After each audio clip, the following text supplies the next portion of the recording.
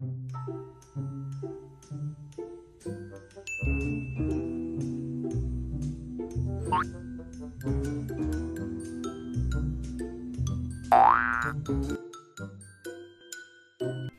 thối bất lực với ông bố khi mỗi bữa ăn chỉ cho một nhúm pate.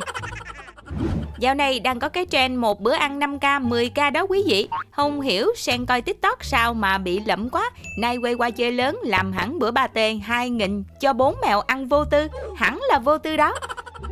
Câu chuyện bất ổn này đến từ nhà của Chi Thối, một kênh TikTok với hơn 100.000 lượt theo dõi. Đến giờ ăn, bé mèo vui vẻ bước ra xem hôm nay bố cho ăn cái gì thì gặp phải phần cơm trầm cảm này đây.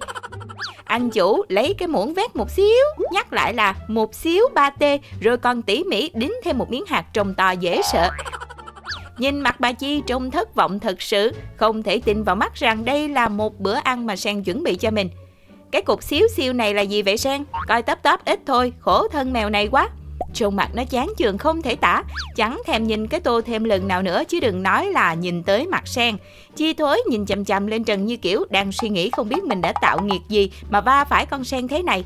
Bất lực tới mức cuối cùng chỉ biết nhắm mắt để quên đi sự đời.